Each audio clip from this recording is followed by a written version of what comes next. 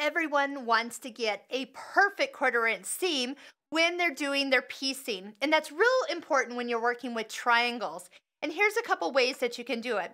With your machine, you have the quarter inch foot that is included. And this is wonderful. You're gonna go ahead and use it with your straight stitch and your needle will go right in the middle with a slight option. So if you've ever wanted to get that scant quarter inch, you can go in and move the needle position just a hair to the right and then you can still clear, you're not gonna hit the foot at all. And then you'll run your fabric right along the, or underneath the red line of the foot. Now that is an, a great foot, but some of us prefer to have a foot with guide or that would be clear. So here's another one. This foot has a wonderful metal guide that will keep your fabric from kind of slipping out. And then you also have your quarter inch markings in the front and on the side as you get started on different projects that require you to start a quarter inch in. Now, on this machine, you're going to notice that you have a quilting area, and that will be your D option. Here we go, back at the beginning.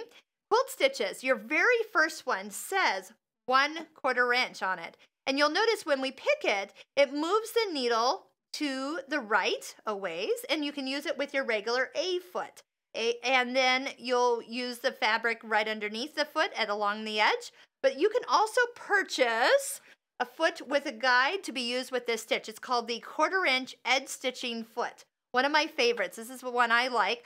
With this red line right here, it is lined up with the needle at this stitch and it has the blade. So I really like the accuracy I can get. And should I need to, I also can move that needle position over even a hair more to create a scant quarter inch. Also by using thinner thread and a quilting needle will help with the accuracy of stitching and matching up intersections as you go.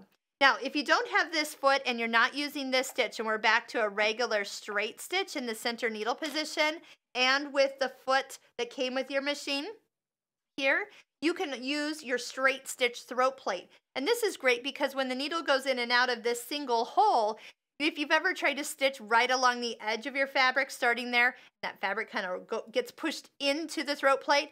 Well, with a single hole, it's going to not get pushed in, especially if you're starting right at the tip of a triangle and stitching maybe from corner to corner. That will make sure that tip doesn't get stick, stuck down there. It is wonderful. Also, thinner thread, the sharper needles are going to make a huge difference in perfecting your quarter inch seam.